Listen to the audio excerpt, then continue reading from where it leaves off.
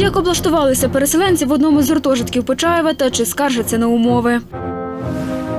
На війні загинув боєць народний депутат восьмого скликання Олег Барна. Втратила чоловіка на війні, сама виховує двох синів. Мріє повернутися на службу. Наталія Леськів розповіла свою історію. Це гуртожиток вищого професійного училища у Почаєві. Тут проживають 25 переселенців з Донецької, Луганської, Харківської та Запорізької областей.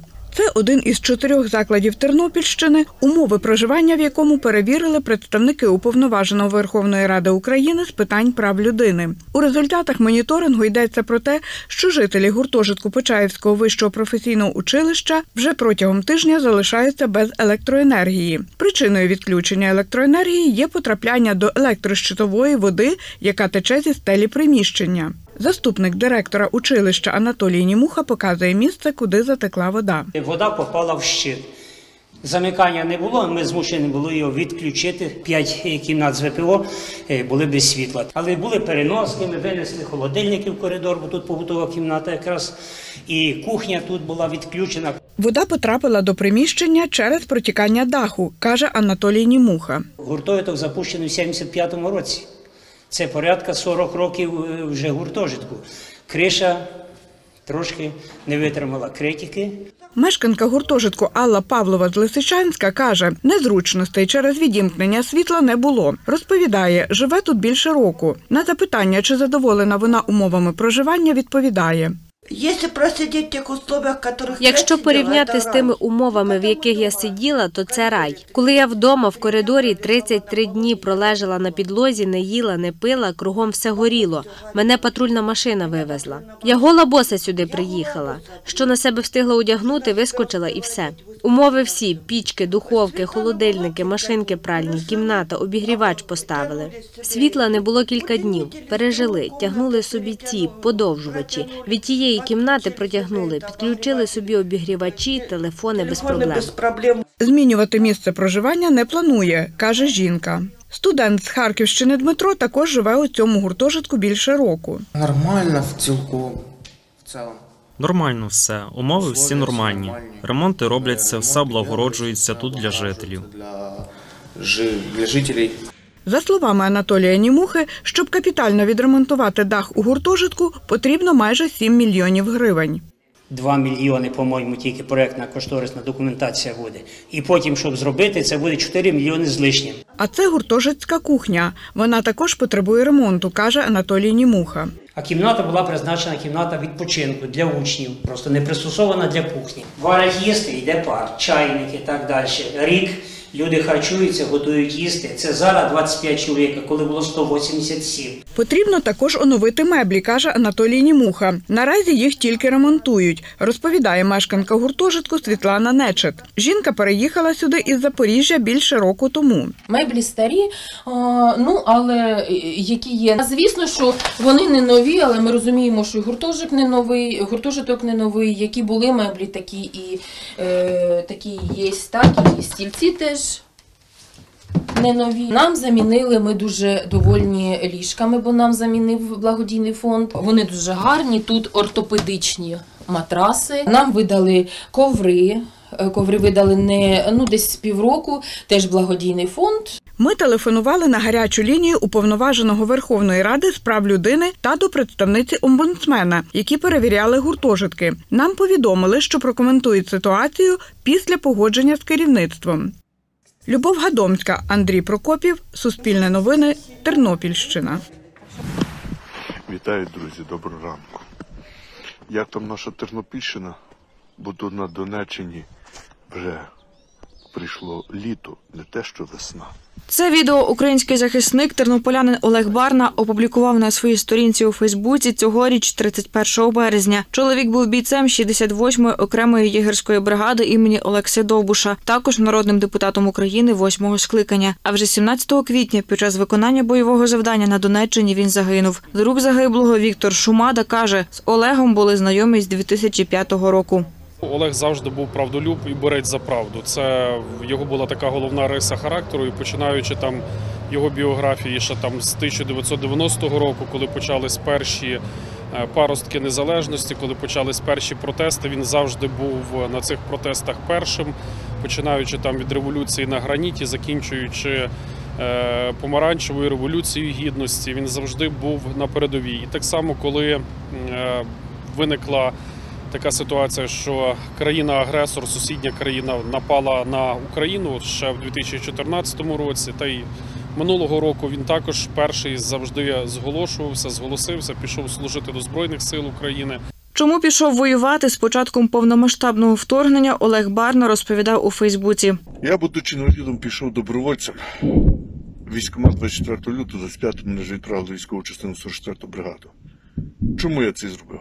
Тому що вважаю, що не молоді, неодружені студенти повинні боронити країну.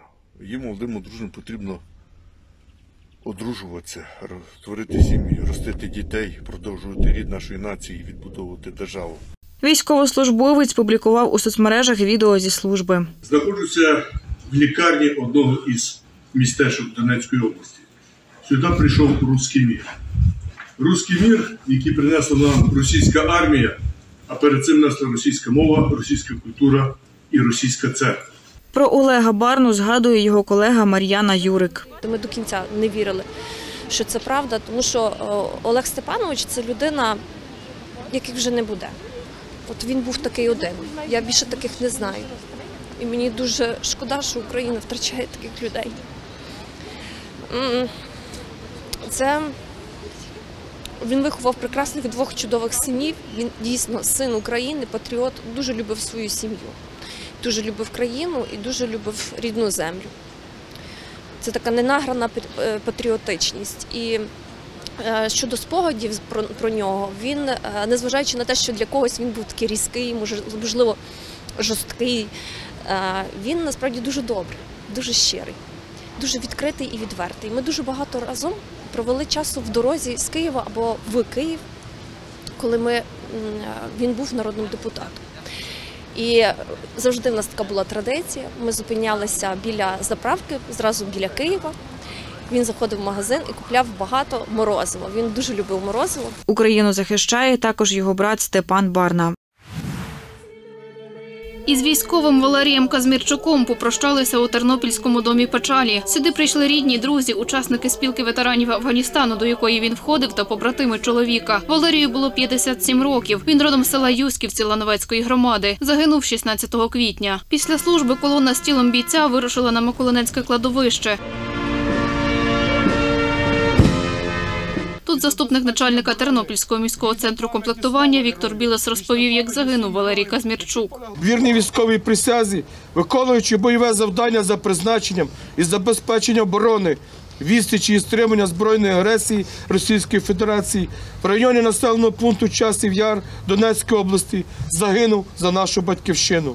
Після цього рідним загиблого вручили грамоту пошани і скорботи, підписану головнокомандувачем збройних сил України Валерієм Залужним та прапор України. У бійця залишилась дружина, донька, син і онуки. Поховали чоловіка на алеї героїв. Його друг, волонтер Сергій Ліпянін, каже: під час бойових дій в Афганістані Валерій Казмірчук був десантником, як і він. Шкода, що такий товариш е, покинув нас, але ми все говоримо, ми не прощаємося, кажемо до побачення. Ну і як солдати ми будемо хоронити в наших серцях з честю, пам'ятати, що у нас є такий друг побратим. Заступник голови обласної спілки ветеранів Афганістану Василь Когут каже, Валерій брав участь у бойових діях в Афганістані в 1985-1986 роках. Отримав медаль за відвагу. Не кожному, як то кажуть, давали її, тому що за героїчні вчинки. Приймав активну участь у революції гідності. Дуже багато допомагав по волонтерській діяльності, особливо по ліках е, під час проведення е, АТО і операції об'єднаних сил. І так склало, що почалась 24 лютого війна повномасштабна, і Валерій в той час знаходився за кордонах по своїх питаннях бізнесу. Але незважаючи на це, він кинув все. Прийшов, я пам'ятаю, батальйон тероборони, який ми створили тільки зразу на другий день після початку війни, і сказав, я хочу бути захисником батьківщини. Діана Качуровська, Оксана Галіяш, Суспільне новини, Тернопіль. Поліцейські Тернополя з національним тренером з питань запобігання та протидії гендерно зумовленому та домашньому насильству Валерієм Міхеєм розглянули ситуації, пов'язані із домашнім насильством. Це фізичне, економічне насилля, насилля щодо дітей та інші. Тренер каже, також обговорили міжнародне та українське законодавство у цій сфері. На даному тренінгу ми розглядаємо проблемні моменти, з якими поліцейські стикаються не лише на містах, а в громадах. Ми розглядаємо законодавчі нормативні акти, які регулюють їхню діяльність, е, принципи роботи з постраждалими та кривдниками і безпосередньо їхню координацію та співпрацю з іншими суб'єктами взаємодії згідно постанови Кабінету міністрів 658. Дільнича офіцерка поліції Старобовля Юлія Порчик каже, людям, які зазнали насильства, важливо повідомити, куди вони можуть звернутися далі. Нашим завданням є негайне і невідворотнє е, таке реагування, зупинити це домашнє насильство хоча б на даний момент, е, вирішити якісь питання, надати всю необхідну допомогу постраждалій особі, і роз'яснювальну роботу з нею провести, надати їй інформацію, куди вона може звернутися в подальшому. Діана Кочуровська, Суспільне новини, Тернопіль. Військова медикиня Наталія Леськів у 2017 році пішла служити до 24-ї механізованої бригади імені короля Данила. Там жінка познайомилася із майбутнім чоловіком, бійцем з Тернопільщини Романом Леськівим. Перший мій виїзд це Попасна. Потім це був Турецьк, Майорськ, Зайцево. З Романом ми познайомилися в Попасні. Ромбік це був його позивний. Був виїзд, мій самий перший виїзд. І ми коли сіли в машину, таблетка називали її, і бачу за кермом він. Е, І ми їхали, і знаєте, то тоді такий, я не знаю, ну не страх, тоді був шок, бо я не знала, що це таке. Біля нас так міни лягали, і він, типу, страшно, я така сижу з цими такими, ну напевно, переляканими очима. Я кажу, я не знаю. Він каже, не бійся, мала. Коли я з тобою, типу, не бійся нічого. Наталія розповідає, Роман був механіком водієм бойової машини. Через рік вони одружилися. Я до нього кажу, давай дружимося. Він такий, а чого? Я кажу, ну не знаю, я тако дивлюсь на тебе, кажу, а ти такий якийсь мій, кажу, ну оце відчуття спокою біля нього. Я не знаю, як пояснити. Він такий, давай. І якраз наша бригада виїжджала вже в Яворів назад, і ми розписалися влітку. От, а в вересні десь ми виїхали на полігон, і я знала, що ми будемо їхати десь туди, де дуже гаряче. Ну, так мені казали. Ще куди саме не знаю. Я до нього кажу, давай ми з тобою повінчаємось. Під час повномасштабного вторгнення Роман воював на передовій, каже Наталія. Боєць загинув у квітні 2022 року, вивозячи поранених. У квітні в Попасні все почалося, у квітні в Попасні все і закінчилось.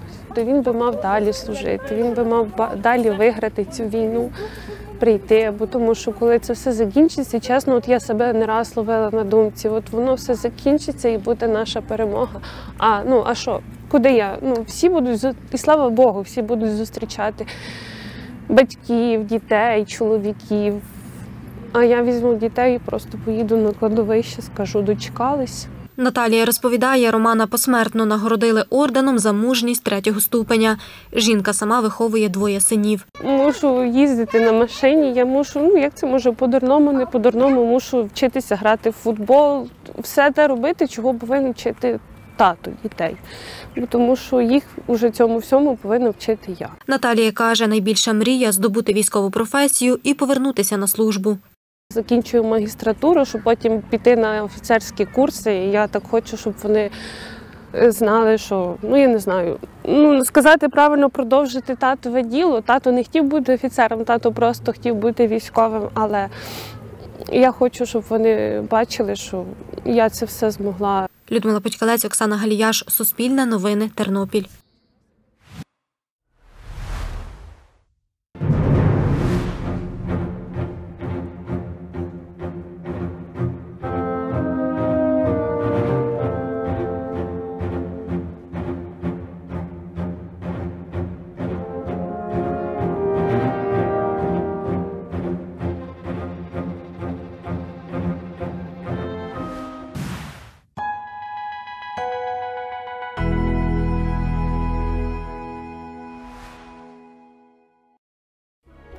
Час дізнатися найважливіші спортивні новини від команди Суспільне спорт.